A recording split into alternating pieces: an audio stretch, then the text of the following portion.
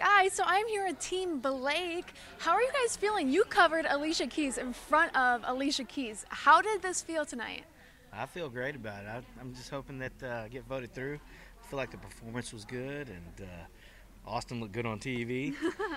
you both looked amazing. How are you feeling tonight? I looked a little taller than Sundance. just a little. I, I don't know. I was on a riser, you, bro. You were on a riser, so I feel great about uh, my performance tonight. I, I, love the song that I did, Bob Seger tune. So I'm uh, just hoping that America and everybody else liked it as much as I did. You know. Yeah. Well, obviously the judges gave both you guys such great compliments and everything. But what has it been like to work with Blake lately? Is that like not a dream come true or what? Yeah, he's he's a really sweet guy. He's he's, he's really badass to work with, and uh, so far he's taught me a lot, man. A lot of things I didn't know about myself.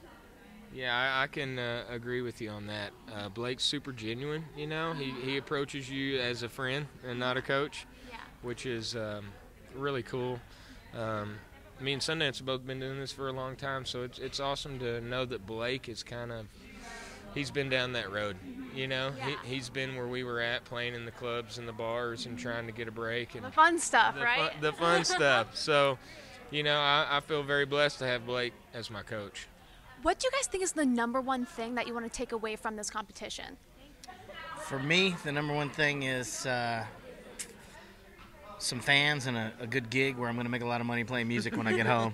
Doing what you love and getting paid to do it. Yeah, that's Best. it. Yeah, I, I, you know, I'm trying to take every take away everything I can from this. You know, the coaching, the the uh, all the behind the scenes stuff that that get us ready for Monday night. Yeah. You know, so there's a lot that I've learned just in regards to that and how how showbiz works, yep. you know. I've learned I got a badass buddy here, Austin. Hey, also. you're making we're, friends here, guys. We're gonna have our own reality show where they pay us to go around the world, do stupid stuff, and make money playing music. I love it. It's gonna be awesome. That's the plan. Yeah. Yeah, that's the Is plan. establish the new reality show from The established. We Voice? just need to find somebody to help us write it. We'll be good to go. ABTV network right there. there you go. Well, we got you guys. We got you. Do you guys think that you can give me um, a little taste of your vocal warm-ups, maybe before your shows, Let's- let's and practice it? do our- Uh, I I meditate.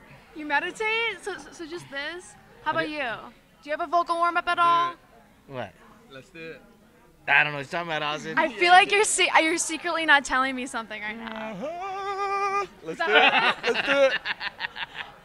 Is Oh that it? Man, we don't we don't do that, man. Come on. Can't let the cat out of the bag, dude. All yet, right. man. Now, you- is that how you do it? How- Well, how do you? Uh-huh. operatic. It's operatic. Okay. You know. Too loud for here?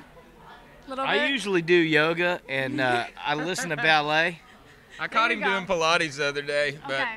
One time I did. I did. was in and out. As soon as I opened the door, I was out. One time I did yoga by accident. I dropped a fork on the kitchen floor. When I bent over to get it, I hit a pose. The best way.